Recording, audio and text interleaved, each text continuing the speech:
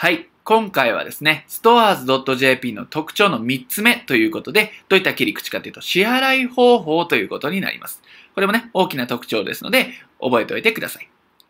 支払い方法なんですけども、まあ、これはね、ビジネス全般で言えることですね。会員制ビジネス問わずなんですが、オファーをこう出す際に、セールスをかける際に、支払い手段っていうのは非常に重要ですよね。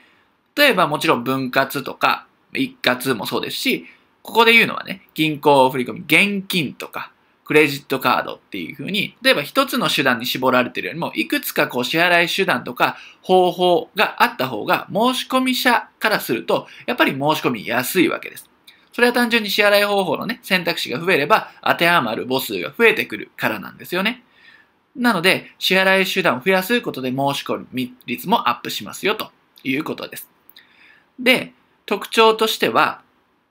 これ stores.jp っていうのは、クレジットカード、銀行振込、コンビニ決済とか、あるいは後払いっていうものも決済代行会社を通してすることができるんですね。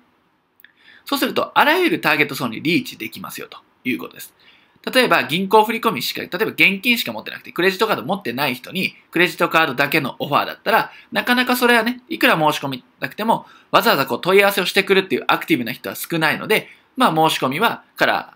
逸れてしまうというかね、申し込みを獲得逃してしまいますので、そういう方にクレジットカード以外の選択肢も提示できるっていうのは、この支払い方法の多様化っていうところと非常に重要になってきます。